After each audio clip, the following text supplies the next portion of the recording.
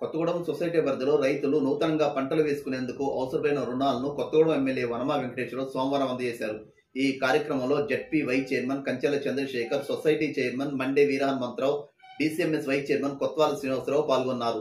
భద్రాద్రి కొత్తగూడెం జిల్లా వ్యాప్తంగా ప్రజలు ఎదుర్కొంటున్న అనేక సమస్యలను తెలుసుకునేందుకు నిర్వహించే గ్రీవెన్స్ సోమవారం కలెక్టరేట్లో నిర్వహించారు. ఈ సందర్భంగా ప్రజల నుంచి అర్జీలు స్వీకరించిన కలెక్టర్ వారి సమస్యలను పరిష్కరించాలని సంబంధిత అధికారులను ఆదేశించారు.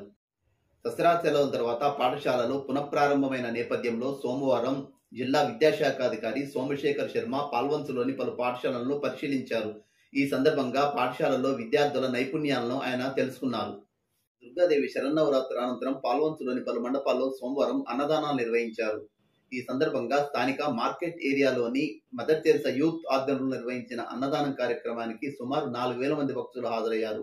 జోరు వర్షాలు సైతం లెక్క చేయకుండా భక్తులు ఈ కార్యక్రమానికి తరలివచ్చారు.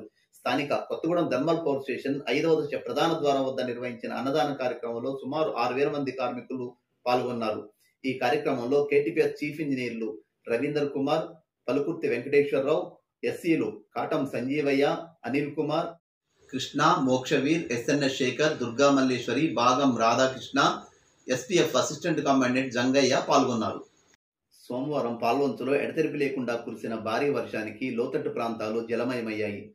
స్థానిక ఆర్టీసీ బస్టాండ్ బురదమయంగా మారింది. ఈ సందర్భంగా ప్రయాణికులు తీవ్ర ఇబ్బందులు ఎదుర్కొన్నారు.